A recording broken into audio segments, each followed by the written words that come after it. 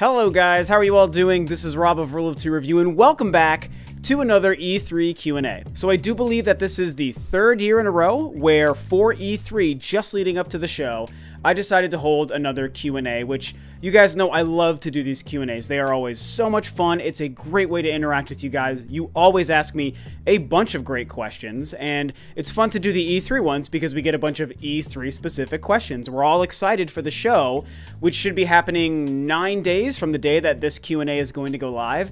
So just, man, it's coming, it's creeping up, it's going to be amazing. So as per usual, I put a call out on Twitter and on Facebook, and this time on YouTube on the community page that I've recently been given access access to for E3 questions that I wanted you guys to ask me so I could just answer as much of these questions as I could fit into this video as possible.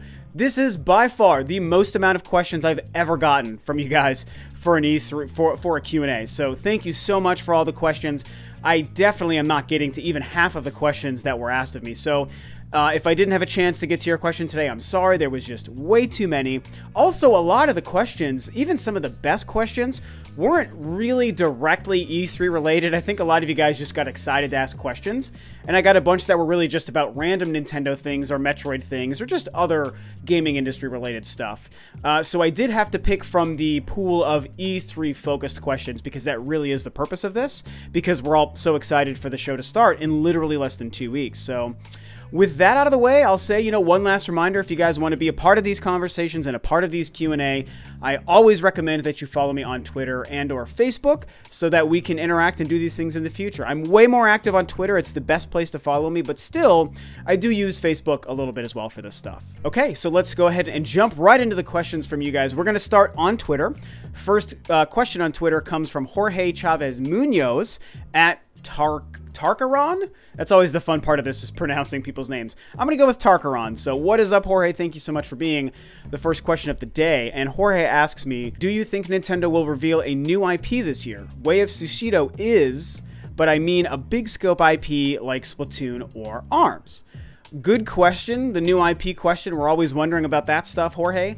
Um, I have to say that it's possible. Nintendo's been doing a great job with new IPs the last couple of years. I mean, you know, people talk about Splatoon and ARMS, which are two very relevant, huge new IPs of the last, you know, four or five years or so for Nintendo. Um, but people also forget Xenoblade. I kind of think Xenoblade counts. I know it's it's a lot of like the Xenosaga kind of story, or not story, I should say, but team from Namco, Namco that moved over to Monolith to start that stuff. But really, that is essentially a Xeno, uh, a Nintendo series. Xenoblade is an is a Nintendo series, so I feel like that also counts here. Uh, and so, you know, those three new IPs the last, you know, five, six, seven years, that's pretty impressive. And I know that there's Way of the Sushido, but that's like a weird sort of thing like Jorge's kind of alluding to. Do I think we're going to see one at E3 this year? I think it depends on one thing. It depends on if the rumors about what Retro is working on are true. If the rumors aren't true, then I think there's a good shot that Retro is working on a new IP for Nintendo that very likely would be revealed this year. I'm tending to believe the rumors about what Retro is making, so I'm going to go with the Star Fox thing personally. But anything is possible. And, you know, Nintendo just gave us a new IP last year with ARMS. It would be great to get another brand new IP from them in some way this year as well.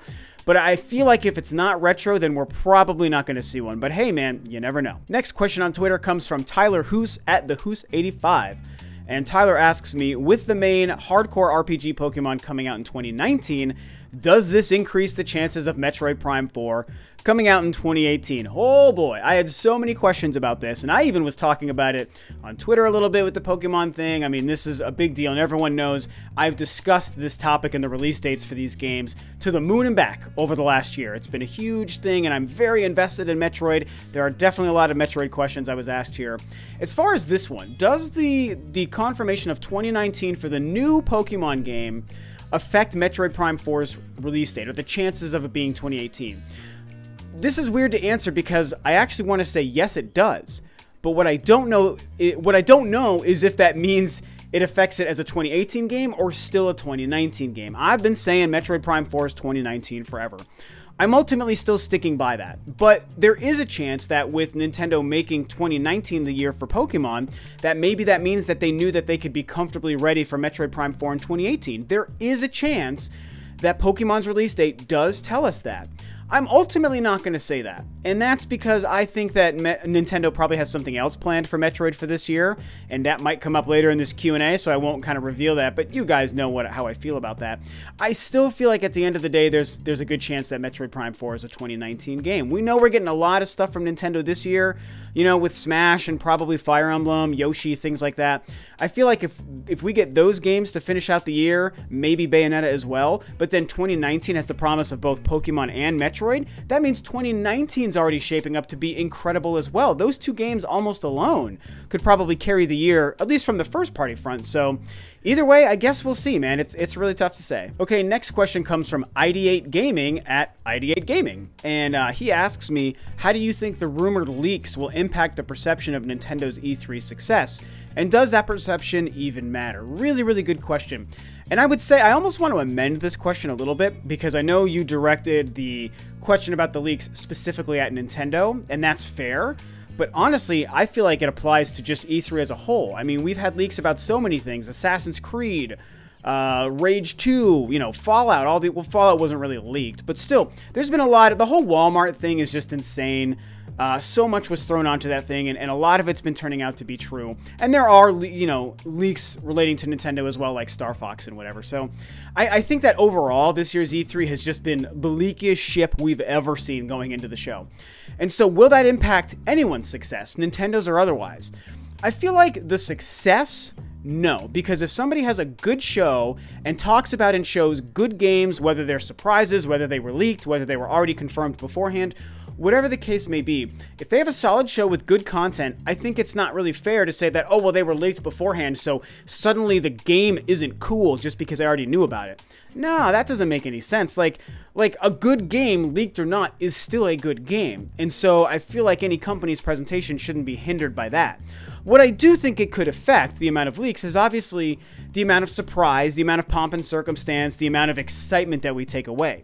A presentation may be less exciting because games that they show were leaked beforehand, but again, if all those games are kick-ass games, then that's what I think most people will take away from them. We might not be jumping out of our seats because we already knew about XYZ game, but I think we'll be like, well, I mean, that Assassin's Creed looks great, Rage 2 looks great, Star Fox Racing looks great, whatever the case may be. So, your last part of your, of your question here, does that perception even matter?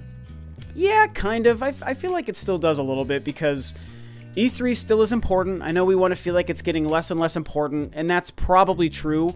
But as it stands right now in 2018, it is still important, and people care about it, and it, it can help to carry positive buzz out of E3 to help support you for the following year. Not always. 2014 is a great example for Nintendo where they had one of the best showings anyone's ever had. Everyone gave them like company of show and, and, and you know, presentation of show.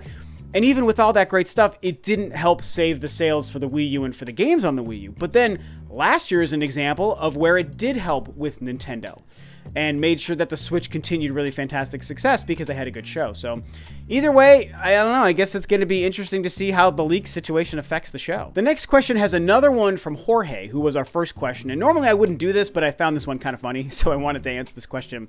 He says, uh, where and how do you celebrate watching E3? Does your girlfriend join you? Or does she get mad that you don't pay attention to her when it's E3? Which is the whole funny, joking, nagging wife, nagging girlfriend kind of thing. And I wanted to answer this because no, my girlfriend is not like that at all. She's a total nerdy gamer dork just like I am. She's not as like core, hardcore gamer and into the culture and the stuff like I am. I mean, I'm the YouTube guy. That's not really her bag, but she follows it herself. Her and her sister grew up playing games, and they grew up playing the Nintendo 64 and the GameCube. And obviously, she knows a lot of it vicariously through me. We experience a lot of gaming together, and she knows what I'm talking about usually on videos, and she supports it. That's why she's the best girlfriend ever, and I'm a lucky dude because I have a girlfriend who totally supports everything about the hobby, from doing YouTube to just sitting on my butt all, all the time just playing video games. So when it comes to E3, we both get really excited. And so it's something that a lot of times we can do together. We've watched plenty E3 conferences together over the years. Um, as far as where and how I celebrated, I mean, usually just here. Uh, when I lived back in Denver and had a lot of my closer friends, we would usually all get together to watch everything, especially Nintendo stuff.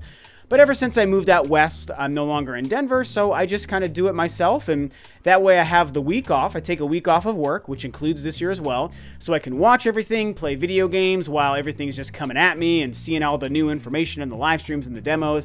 And then I get to make videos throughout the whole week as well for Rule of Two Review. So yeah, that's that's how I like to do E3. Okay, next Twitter question is is a really big question, even though it's an obvious question.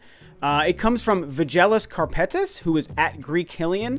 What's up, buddy? I know you you comment quite a lot on Facebook and Twitter and stuff, so thank you so much. And what he's asking is, hey Rob, do you think Nintendo will show Metroid Prime 4 at E3 2018? Maybe they'll show its multiplayer mode. So this question carries all the weight in the world, as far as I'm concerned, because for me, the big question going into the show, bigger than anything else I could possibly know, is will this be the time that they finally show Metroid Prime 4? And there's a hundred reasons to believe they will, and there's a hundred reasons to believe they won't. That's my personal perspective coming here, because I, I could see why it makes sense for them to finally pull the veil back and show it to us. It's hopefully going to be a 2018 game, and so they want to detail their 2018 games, and this is going to be one of their biggest games, so they want to show it and just start to sell the world on the gameplay, the visual style, the story, the combat, the new gameplay mechanics, whatever. But also, I think it's probably a 2019 game. And so if it's that far off, it's not in the immediate future, it goes against Nintendo's game plan for the show. So they probably want to keep it a secret until later in the year or maybe at the beginning of 2019 all these different things. So, what do I think they're going to do? I don't want to spoil a predictions video I'm probably going to make, but I will say I'm kind of I'm kind of in two camps when it comes to Metroid Prime 4. Basically, I still think it's likely a 2019 game. However, I think Nintendo may surprise us and make this their one 2019 tease. I think that they want to do that, and if they do, I think Metroid would be that game. So I'm kind of expecting a little bit of a tease of Metroid still at E3 this year, even if it's not releasing this year. But how much would they show if that's the case? If it's a 2019 game and they're just teasing us, they're not going to give us all the details. They'd probably give us just like a little bit of gameplay. I doubt they would go over something as extensive as the multiplayer mode that he brings up here. So it depends. If it's a 2018 game and they're giving us all the details, yeah, they're going to talk about a multiplayer mode if there is one and all the other gameplay mechanics. So ultimately, where I rest on this is I do expect to hear or see a tiny something from Metroid this year, but I don't expect the full boat. Next question comes to us from Giovanni387 at Giovanni745. and he asks me, uh, what third-party games are you expecting to be revealed for the Switch? Man, this is a huge question and really interesting because you guys know me. I love third-party games, um, and I want to see a lot more of that stuff come to the Switch and Nintendo consoles. So there's there's the rumors and leaks about Fortnite and Dragon Ball FighterZ. Uh, I believe those. I've, I've kind of heard about Dragon Ball for like, I don't know, since last year. I kind of knew Fighter Z was probably going to be coming to the Switch. I mean, literally even before the game launched on the PS4 and Xbox One.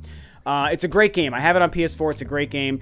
I'm tending to believe DBZ, although it's not a lock. Fortnite is the thing that is basically a lock. I think we'd all be shocked out of our minds if Fortnite isn't announced and addressed for the Nintendo Switch this year. As far as other things, I'm one of the few weirdos in the camp of Overwatch. I feel like that game still has a chance at showing up on the Switch, and I think it would be great if they announced it this year. So don't be surprised if we see Overwatch eventually, hopefully at E3 this year. Also, on that same tip, Diablo 3, I mean, I think we all believe that's probably going to happen as well. Um, I wanted to believe in Call of Duty for so long. I really, in my heart, believed it but they basically confirmed it's not happening, which is really disappointing and a huge miss by Activision. So that is their bad as far as I'm concerned. They're the ones missing out, not the Switch players, even though I wanted that game on my Switch. Um, GTA 5, I still think it's going to show up at some point. Madden, I think, is probably going to get announced, and EA would be stupid if they don't announce it because I know FIFA did pretty well, and they're even doing the next FIFA, so why wouldn't they do Madden? Um, the last two big ones for me are a Star Wars game. I think there's a chance that we see a Star Wars game detailed at E3, and I think there's a chance that we see it on the Switch. It's a small chance, but I'm going to kind of hope for that little tiny window that we actually see that happen. And then I would love to see Beyond Good and Evil 2 actually confirmed as a Nintendo Switch title.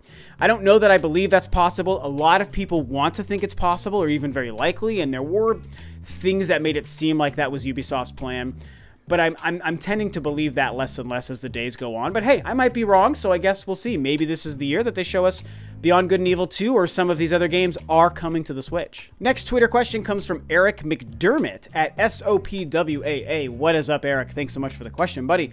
And he asks, will Nintendo announce their own Battle Royale style game or possibly incorporate it into an existing IP like Splatoon or Smash Brothers? This is a topic everyone's been talking about. Everyone's been asking this question.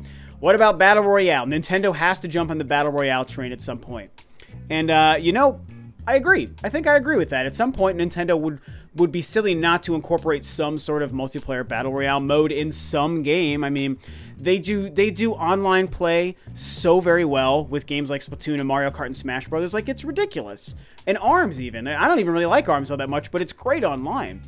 And Battle Royale seems like something Nintendo could do really well with and put their own cool Nintendo spin on it. What I don't expect is a is like a new game from Nintendo that's Battle Royale unless it's like a small downloadable thing, if it's like a Way of Sushido kind of thing, maybe I could see that. But ultimately, I don't think they're going to make like a new IP or a new game that's only Battle Royale. But I do like the idea of them adding it to Splatoon. You bring up Smash Brothers 2, Eric, which is interesting. And like, there's probably a way Nintendo could make a Battle Royale kind of thing work with Smash. But really, I see it in Splatoon. It would be so cool for Splatoon. There's a great way for them to do that, I think. So, I don't know. I guess that's what I hope to see. Next question comes from Brian at Brian Jedi 82 What is up, Brian? Another super, super active user on Twitter and stuff. So, thanks so much for the question. I was glad I was able to give you a shout out here. And uh, he asks me, Another Metroid question. He says, What form do you think Metroid Prime 4 will be shown as? Pre render, in game, or do you think a demo will be playable as well? So obviously, I already kind of started to address this, and like I said, I got a lot of Metroid questions, you guys. Um, but I still think there's something I can add to this specific answer because, like I said, I have a, a, a part of me that feels like we might see Metroid at the show, as I already stated. And I feel like it wouldn't be pre-render because that's just not Nintendo. Nintendo doesn't do that. If they're going to show you the game itself, not a logo like they did last year, but if they're going to show you this game we're making, there's going to be gameplay. They might include some pre-render stuff in a trailer for something that could be story heavy like a Metroid, but they ain't going to just show a 60 second CG trailer for Metroid Prime 4 and then call it a day. That's not Nintendo. So if they're going to show us anything of Metroid this year, it's going to be in game, and that is super, super exciting. Um, you ask about if there would be a playable demo. I would say if this is the year that it's launching and they're giving us a huge blowout at E3, yeah, I think a demo is very, very possible. I doubt it would be like a, you know, download it when E3 is over kind of thing. I think it would be closer to the launch of the game. But either way, I, I, could see them doing a demo for Metroid Prime 4. They've done it for Splatoon, they did it for ARMS, they're doing it right now for Mario Tennis. I mean, it's a really smart thing Nintendo's doing. Uh, Project Octopath, which is third party, of course. So yeah, I would think they would give us a playable demo for Metroid. Next question on Twitter comes from my boy, Patrick, at Nintendo Talk, an awesome YouTube channel. He's been doing really well in his first year and a half or so. I actually uh, joined the Planet Nintendo podcast that he hosts a couple of weeks ago, which was so much fun. Mostly talked about Metroid and Bayonetta, so you guys should check that out. That was like probably three or four weeks ago. Anyway, uh, Patrick asked me this question. How can Nintendo mess up E3? It is possible, right? Which is obviously kind of a joke there. Um, but you know what? Yeah, it is possible. It's totally possible. We should never rule that out. Any company can screw up. Even Nintendo, who we all love, they are far from perfect. They have screwed up E3 before. We've all seen that happen, man. Let's be real. So, how could Nintendo mess up E3? There's a couple of ways. Even though I will give this preface, I don't expect this, you guys. This isn't my prediction, and I know Patrick well enough to know this isn't his prediction either, but it's a fair and really good question. So, how could they mess it up? Well, one is they're focusing on Smash Brothers this year. We know it's their big focus game. Uh, let's say that Smash just doesn't look good. Let's pretend that that's a possibility. None of us believe that, but let's be realistic here. Let's be adults. What if that happens? If Smash was 70% of what they show this year and it just doesn't look good, that's going to like catastrophically destroy their E3 presence and their 2018 presence this year at E3. So that's one option. We don't believe it, but it could happen. The other thing is if and I've said this, I don't expect a lot of huge other surprises and big things outside of Smash. They're going to talk about they're going to talk about Yoshi and that'll be really great. And they're obviously going to probably talk about Fire Emblem and I'm sure they'll knock those out of the park. But what if they have nothing else exciting to show and the couple of things they reveal are just just kind of dumb, weird, small little puzzle games that just aren't exciting and aren't going to get Nintendo fans and, and even lapsed Nintendo fans excited to get to get into Nintendo again, that would be disappointing and mess up their show.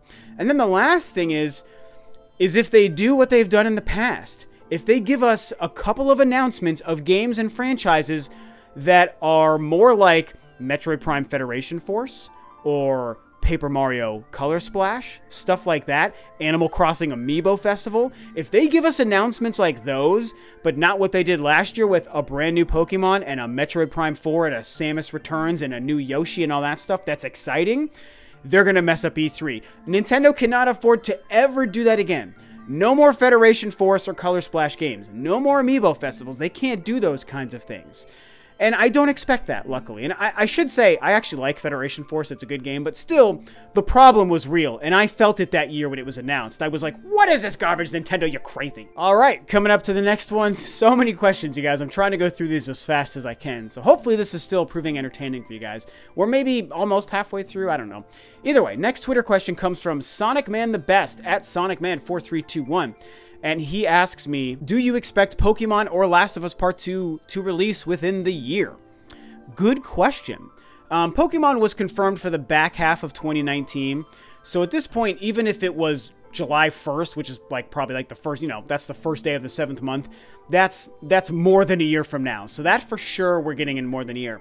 Last of Us is interesting because I, I thought about this recently. I think it was even after after I read this question.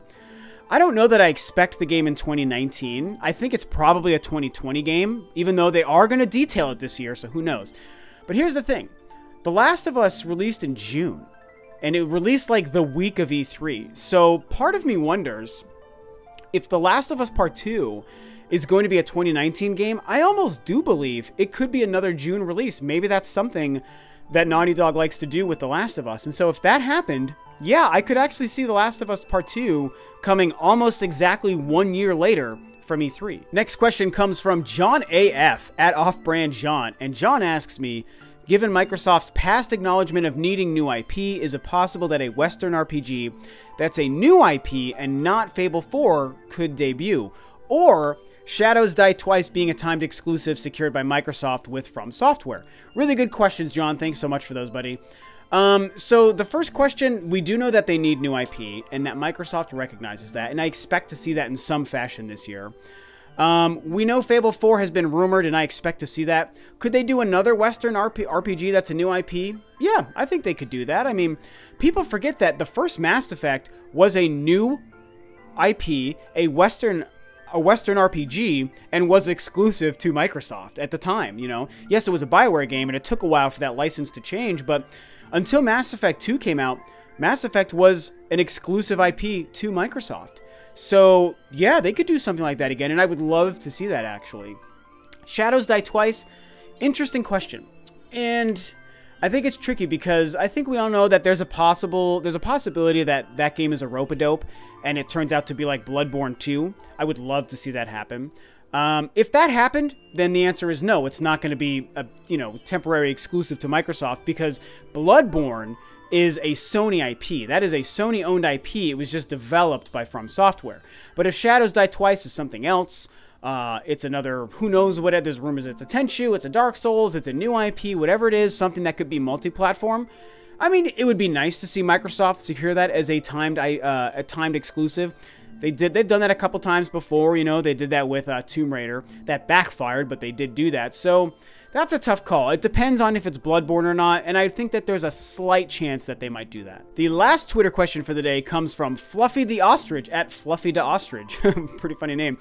And uh, he or she asks me, what is a 6th gen remaster you would like to see show up at E3 this year? Man, there are so many because the 6th gen is my second favorite generation of all time. Absolutely. So I have I have a lot of answers I could give here. I'm actually just going to list really quickly a couple of them. And it's tricky because two of them that I would dream of have already happened. Resident Evil 4 has been remastered many times, one of my favorite games, and The Wind Waker got a remaster on the Wii U a couple of years ago. And those are like probably my two favorite 6th gen games of all time. They're probably like top 5 games of all time for me. Um, so those ones have already happened, but there's a couple of other ones. Knights of the Old Republic, for sure. I know that's been re-released in a lot of ways, but like a really well done remaster, like the way they did Shadow of the Colossus, for example, if they did that to Knights of the Old Republic, look out. I'm taking six months off from work to play that game if that happened. Um, one of them is, uh, you know, that Metroid Prime trilogy. I would love to see that happen, and that includes two six-gen games, Metroid Prime and Metroid Prime 2. I think that's going to happen. You guys have heard me say that, so that's one I'm going to throw out there. Uh, Eternal Darkness for the GameCube. Would love to see that remastered. SSX 3, one of my all-time favorite games. Such a masterpiece. Please remaster that game. And also the Rogue Squadron games, which were exclusive to the GameCube. Rogue Squadrons 2 and 3, which were Rogue Leader and Rebel Strike. I would love those remastered. And there was talks from Factor 5 a couple of, like a year ago about doing that, but it seems like that game is that series is like locked behind like crazy rights issues, so we probably would never see it, but I would sure love to have it. Okay, let's move over to a couple of Facebook questions. First question on Facebook comes from Gregory Bush, who says, With Nintendo saying they'll continue supporting the 3DS, do you think Nintendo will introduce any new IP for the system at E3? Good question, Gregory. Thanks for that question. Um, I would say that no, I don't expect it, but it is possible because they have been good about doing that the last couple of years. I mean, Ever Oasis was just like a year or two ago. People forget about that. And it was supposed to be a pretty decent game.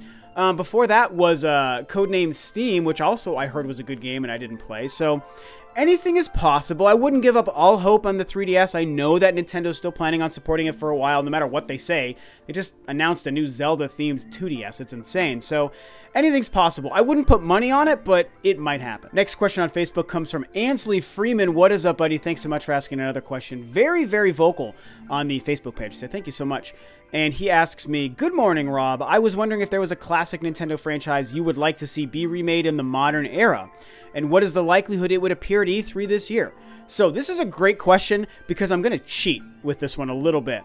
Because my true answer to this would probably have been Star Fox. And we all know that there's a huge rumor about Star Fox getting some sort of more modern remake, a little bit of a genre change into something that sounds a little bit strange and off-putting, but potentially very amazing. I'm optimistic about these rumors. And so I would like Star Fox. And if if there's anything to these rumors, I think that there's a great shot that it does show up at E3. So I can kind of cheat by saying Star Fox is my answer. And the, my answer to your question about it appearing at E3 is yeah, I think that there's a really good chance that this new Star Fox game made by Retro, if it's real, will show up at E3. Next Facebook question comes from Matthew John Daniel Welch. What is up, Matthew? Thank you so much for another question. Uh, he asks me, Hey, Rob, hope you're doing well. Thank you so much.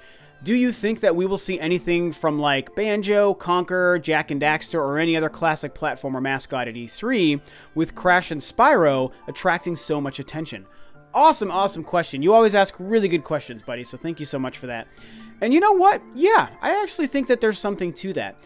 I do expect to hear from Banjo and Banjo Kazooie in some way, shape, or form this year at Microsoft Show. We know that they understand the precarious situation they're in. As referenced in an earlier question, they know they need new IP. Well, this wouldn't be a new IP, but we know they need exclusives.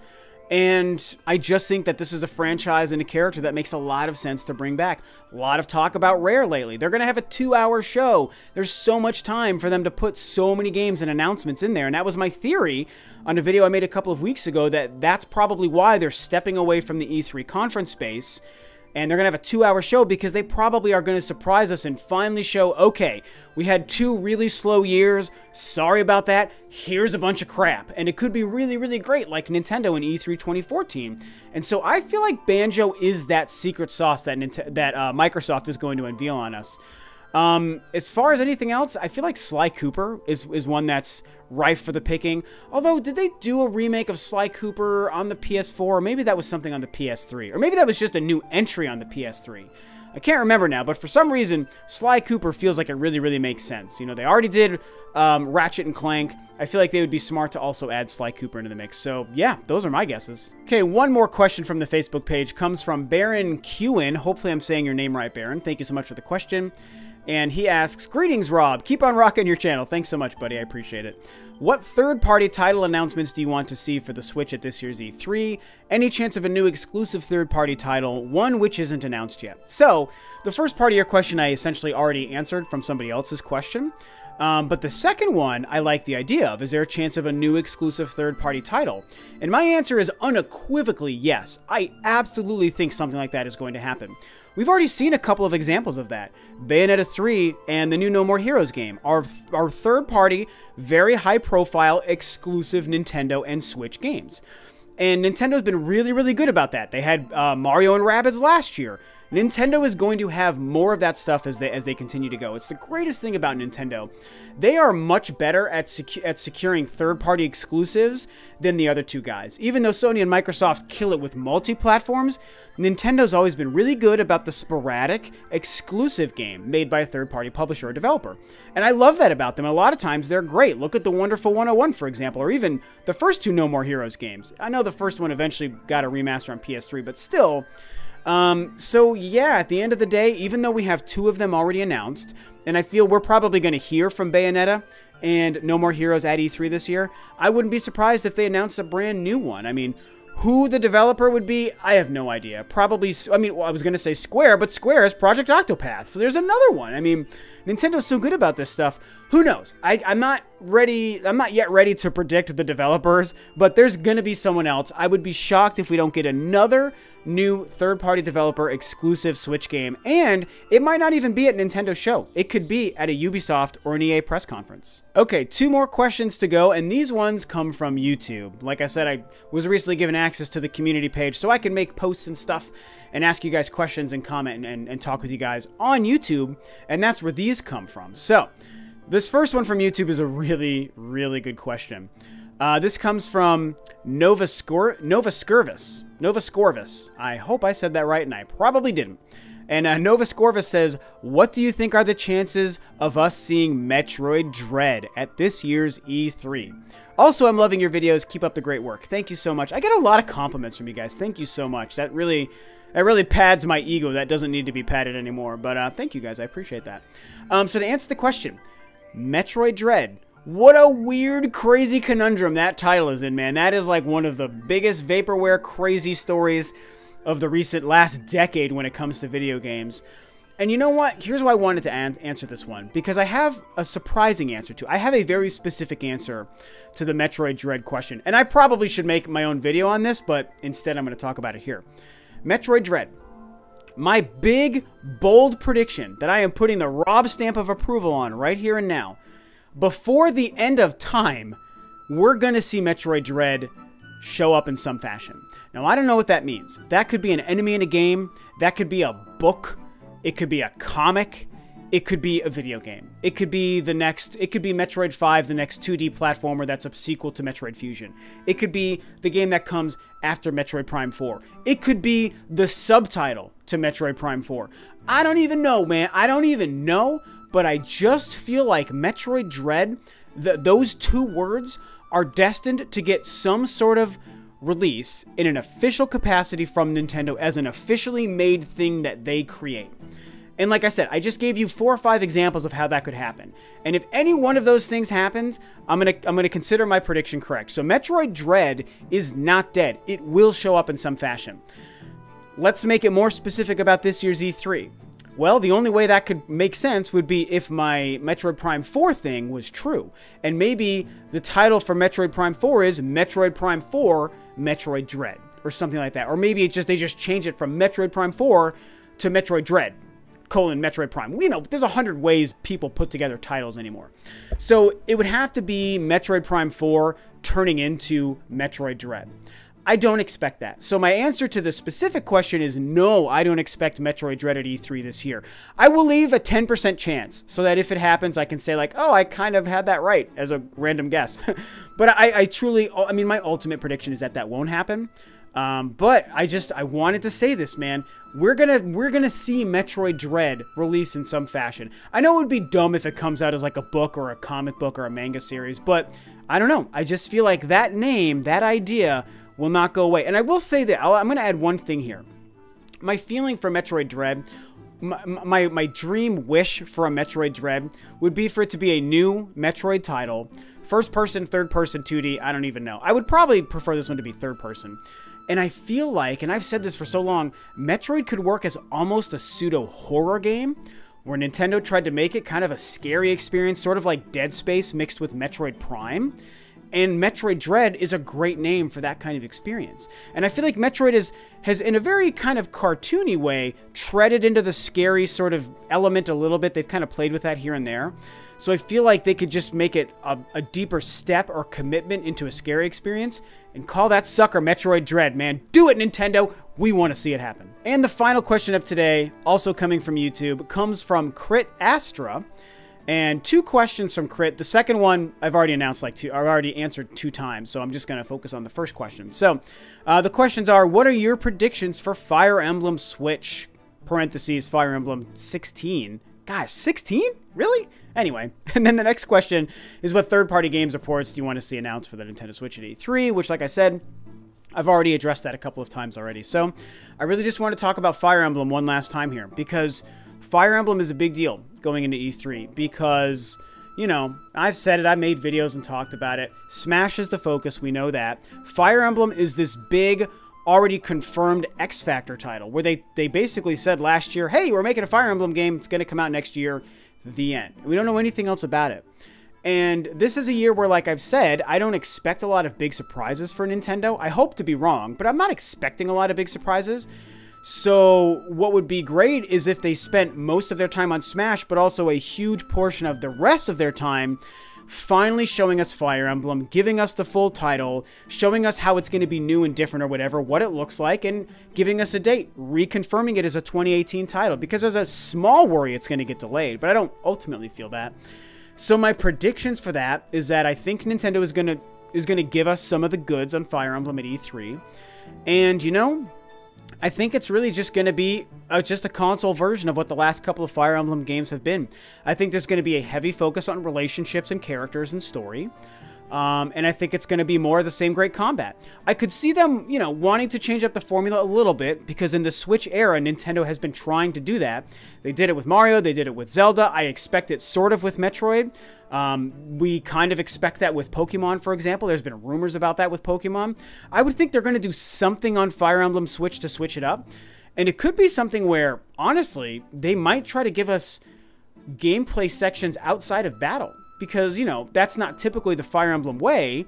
Usually you're doing a lot of the conversation you're like building up like in fates you're building up your castle and you're and you're doing your gardening and talking to the whatever i don't even remember what it's called anymore. You're doing your in between battle stuff and then you go out into the world to find battles for grinding or to go into your next story chapter battle. And the story just plays out with cutscenes of the characters until you guys start fighting and that's great.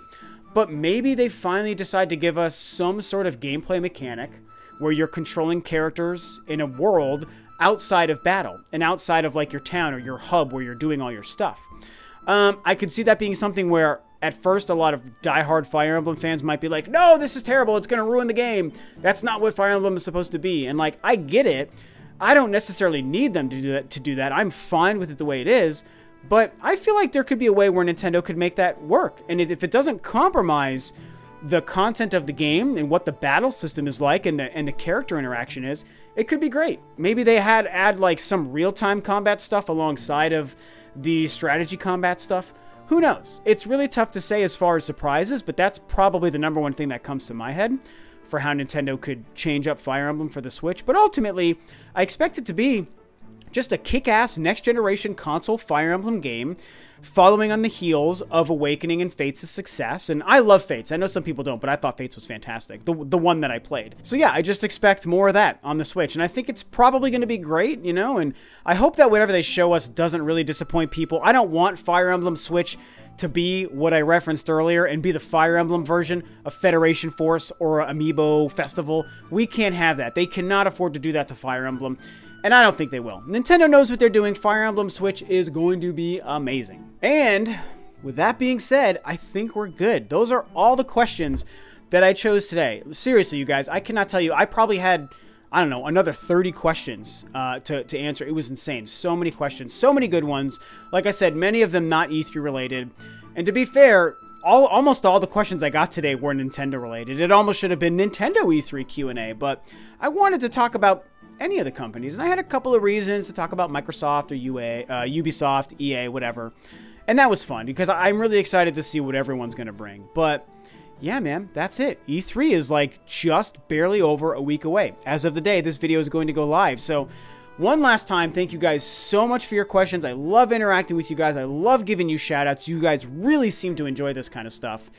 And uh, you know, like I said, to be a part of the conversation and Q and A's in the future, follow me on Twitter. Don't be crazy. Follow me on Twitter. I am super active and always tweeting and talking and, and interacting and doing the whole thing on Twitter. And then, of course, like I said, Facebook as well. So please discuss any and all questions that I talked about and answered today. What do you think about my answers? What are your own answers, your theories and predictions for Nintendo and everyone else and Metroid? So much Metroid.